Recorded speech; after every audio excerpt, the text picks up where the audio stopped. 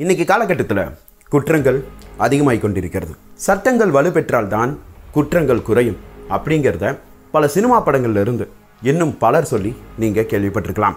அப்படி குற்றங்கள் என்பது இப்போ மட்டும் இல்லைங்க.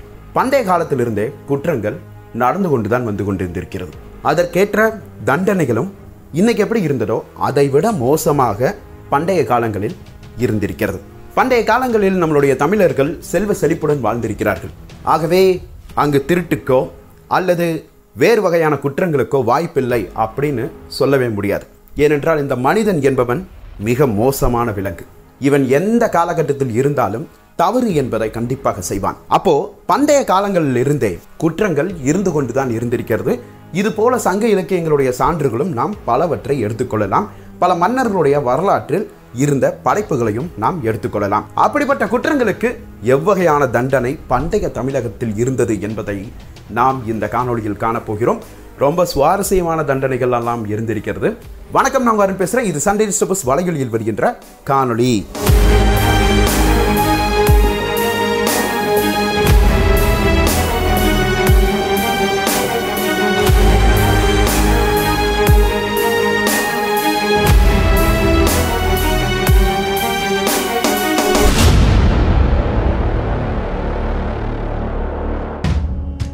முதல் குற்றம் திருட்டு.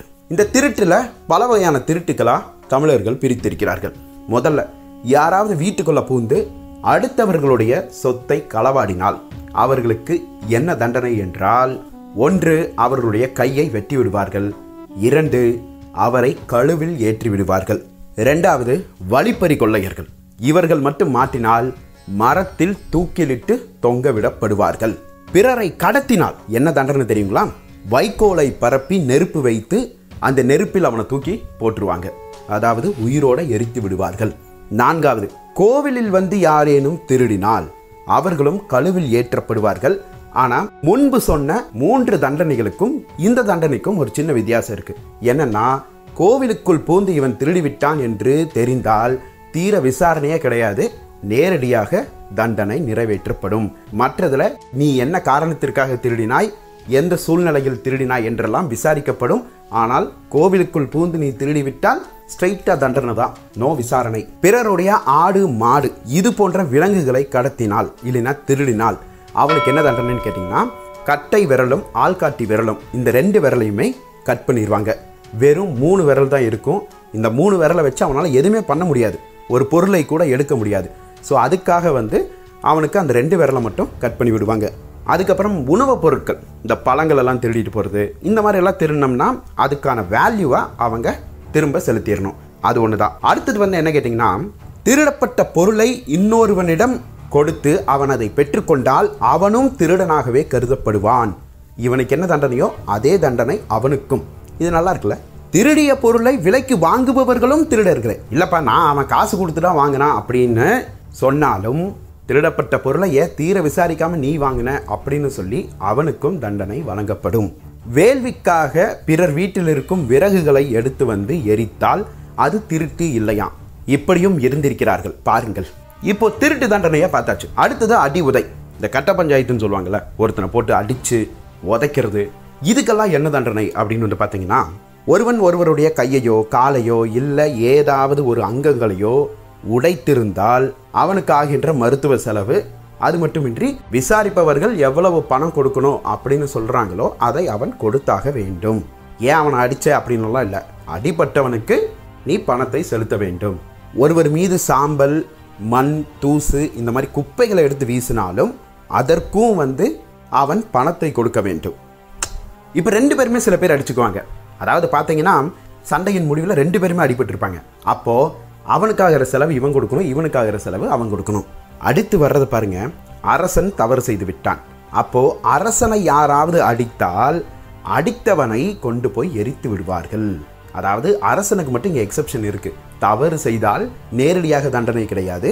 சரி அரசனே தவறு செஞ்சுட்டான் நேராக போய் அடிச்சாங்கன்னா அவங்கள எரிச்சிருவாங்களாம். ஒருத்தர் யாராவது நபருடைய இரண்டு கண்களையும் தாக்கிவிட்டால் அதாவது ரெண்டு பேரோட கண்ணை குத்திட்டான் அப்படின்னு வச்சுக்கோங்களேன் அவனுக்கு ஆயுள் தண்டனை. அதாவது தன்னுடைய ஆயுள் முடியும் வரை அவன் சிறையில் தான் இருக்க வேண்டும். இப்படிப்பட்ட ஒரு தண்டனை. இப்படிப்பட்ட தண்டனைகள் இருக்கின்ற காலகட்டத்தில் பண்டைய தமிழர்களுடைய காலகட்டத்தில் இல்லை ஒரு பனிரெண்டாம் நூற்றாண்டு காலகட்டத்துக்கு பிறகு இந்த தண்டனைகள் இரு வகையாக பிரிக்கப்படுகிறது. அதாவது உயர் சாதியில் உள்ளவர்கள் தாழ்ந்த சாதியில் உள்ளவர்கள். இப்படி ரெண்டு பேரா பிரிச்சுக்குவாங்களாம்.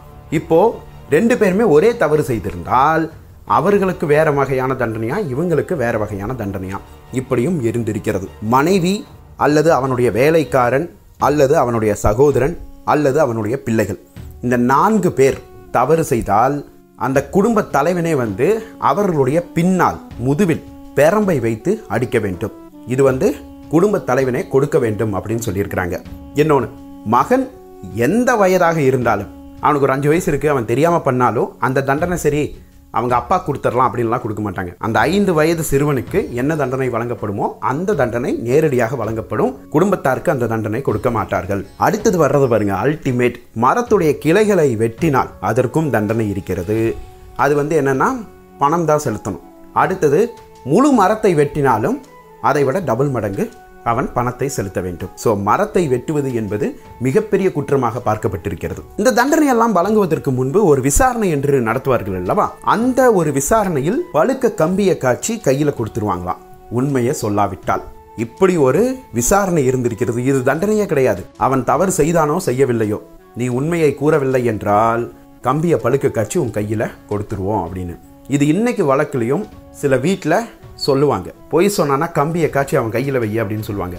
ஸோ இதற்கு வந்து அவங்க என்ன சொல்கிறாங்கன்னா இப்படி ஒரு முறை இருந்ததாக ஆனால் பின்பற்றாத ஒரு முறையாக கருதப்படுகிறது. ஏனென்றால் ஒருவனை அச்சுறுத்தி உண்மையை வாங்குவதற்காக இது பயன்பட்டதாக கூறப்படுகிறது. அதாவது முன்னே இருப்பவன் தவறு செஞ்சவனா இல்லையாங்கிறது நம்மளுக்கே தெரியாது.